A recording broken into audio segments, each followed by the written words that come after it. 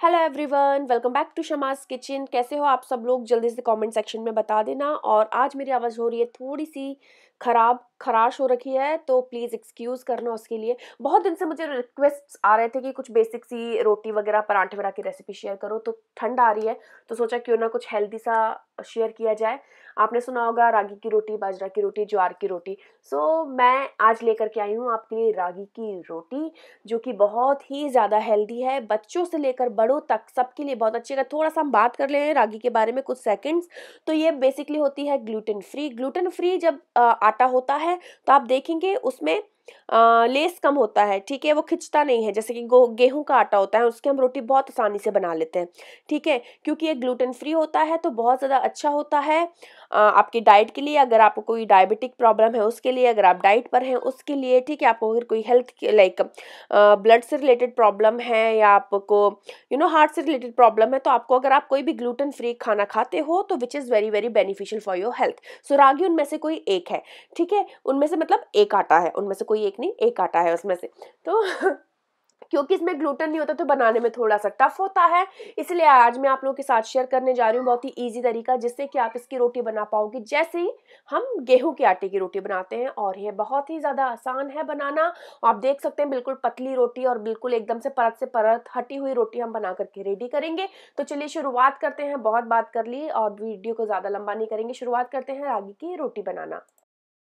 तो रागी का जो रोटी है उसको बनाने के लिए मैंने यहाँ पर लिया हुआ है रागी का आटा फिंगर मिलेट जिसे कहते हैं, और कई जगह पर इसको नचनी का आटा भी कहते हैं, नचनी का आटा। ठीक है तो आप देख सकते हैं सेम ही कप से मैंने जितना आटा लिया है उतना ही पानी लिया है। एक कटोरी मैंने आटा और एक कटोरी पानी लिया है, आटा गूंदने का। और उसमें मैं डाल रही हूँ कुछ वन टी के करीब घी। ठीक है, आप ऑयल भी यूज़ कर सकते हैं और बहुत चुटकी भर सॉल्ट ये जो रागी का आटा आता है, ये सॉल्ट कम एब्जॉर्ब करता है तो आप उसका ध्यान रखें। इसका आटा हम दूसरे तरीके से बनाते हैं। इसके लिए हमें पहले पानी में आ, पानी को गर्म करना है मतलब उबालना है। उसमें मैं थोड़ा सा घी डाल रही हूँ। आप जैसे बताया ऑयल भी डाल सकते हो हल्का सा सॉल्ट दोनों ही चीज़ हटा भी सकते हो। ठीक है? और इसको हम उबाल आने तक उबाल लेंगे। गैस को कर देंगे बंद क्योंकि हमें इस आटे में ग्लूटन नहीं है तो जब तक कि आटा अच्छे से फ्लफी नहीं होगा फूलेगा नहीं रोटी नहीं बनेगी। तो उसके लिए हमने क्या करना है कि जैसे पानी उबल जाएगा बंद कर दें और उसमें आटे को कर देंगे हम मिक्स इसको मिक्स कर देंगे अच्छे तरीके से। अभी हम इसको आटे को मतलब गूंदना नहीं है बस इसमें मिक्स करके हम इसको रख देंगे ढक करके। मैंने गर्म से हटा लिया है क्योंकि मेरी इलेक्ट्रिक गैस है तो वो जलने का डर डर रहता है। तो मैंने इसको वुडन सरफेस पर रख लिया है। आप देख रहे हैं। आप जब इसको मिक्स करेंगे तो आपको पता चलेगा ये थोड़ा सा फ्लफी हो, होता रहेगा आपको फील होगा वो। ठीक है? इसको हम अच्छे तरीके से आ, मिक्स करके एक बारी और ढक करके छोड़ देंगे पंद्रह मिनट के लिए। टाइम आप नोट कर लें फिफ्टीन मिनट्स ठीक है? ना कम ना ज़्यादा ज़्यादा रख सकते क्योंकि मैं बताऊँगी क्यों नहीं रख सकते आगे। ठीक है, पंद्रह मिनट के लिए इसको रेस्ट कर देंगे। और अभी आटा बहुत गर्म नहीं है, आप इसको टच कर सकते हैं बट आप जो जो ल्यूक वॉर्म पानी होता है ना, उस तरीके से आप फील कर पाओगे इसका गर्मपन। तो पंद्रह मिनट से ज़्यादा इसलिए नहीं रखना है, क्योंकि अगर आटा ठंडा हो जाएगा तो आपको रोटी बनाने में होगा टफ ठीक है? तो इसको एक जगह हम ट्रांसफ़र कर लेंगे दूसरे बर्तन में, जहाँ हम आटा गूंधें और इसको मैश करेंगे अच्छे तरीके से। हल्का सा चिकनाई ले लें हाथ में, जिससे कि हाथ में चिपके नहीं। और जिस तरीके से आप आटा गूंदते हैं, आप बिल्कुल उस तरीके से इसको गूंद पाएँगे, और एक बहुत ही सॉफ्ट आटा बन करके रेडी हो जाएगा। बहुत टाइट पूड़ी जैसा नहीं करना है। और गेहूँ जैसा सॉफ्ट भी नहीं करेंगे। थोड़ा सा कैसे कह सकते हो आप सेमी सॉफ्ट इसको रखेंगे, और आप देख सकते हो इस तरीके से आपकी उंगली उसमें चले जाए, इतना। और बस ध्यान रखना है आटा बना करके इसको हमने रेस्ट करने नहीं रखना है क्योंकि हम इसको ऑलरेडी रेस्ट कर चुके हैं पंद्रह मिनट के लिए। अगर ये आटा जो ठंडा हो गया तो फिर आपकी रोटी बहुत ज़्यादा फटने लगेंगी फटती तो वैसे भी हैं और ज़्यादा फटने लगेंगी।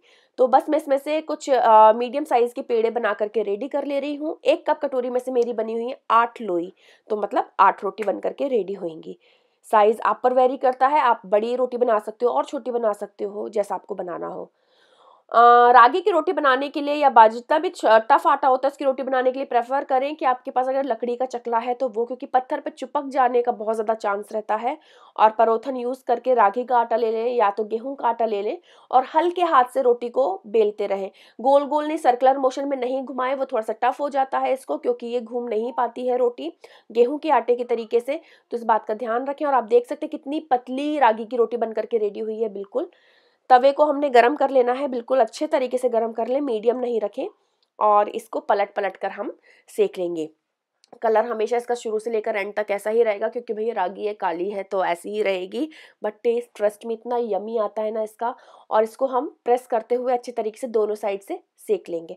आप चाहें तो इसका पराठा भी बना सकते हैं, ठीक है, एक साइड घी लगा करके भी हल्का सा सेक सकते हैं या फिर प्लेन भी खा सकते हैं, जैसे आपको अच्छा लगे। और आप देख सकते हैं कितनी अच्छी तरीके से फूल रही है रोटी।